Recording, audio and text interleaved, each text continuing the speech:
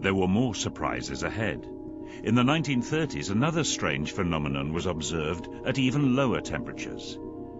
This rapidly evaporating liquid helium cools until at 2 degrees above absolute zero, a dramatic transformation takes place.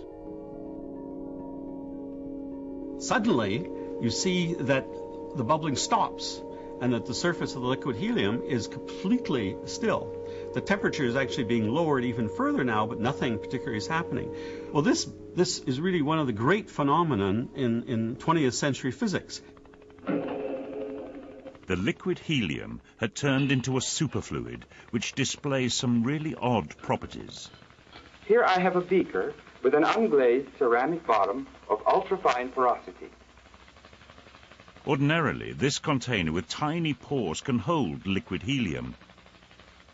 But the moment the helium turns superfluid, it leaks through. We call this kind of flow a superflow. Superfluid helium can do things we might have believed impossible. It appears to defy gravity. A thin film can climb walls and escape its container. This is because a superfluid has zero viscosity.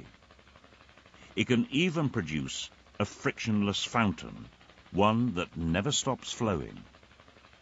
Superfluidity and superconductivity were baffling concepts for scientists. New radical theories were needed to explain them.